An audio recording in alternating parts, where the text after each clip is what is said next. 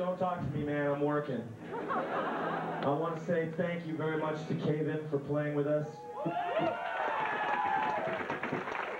And thank you to Hey Mercedes for playing with us. And I also want to say thank you to you for coming to see us because you make it possible for us not to have jobs and to write music. Thank you.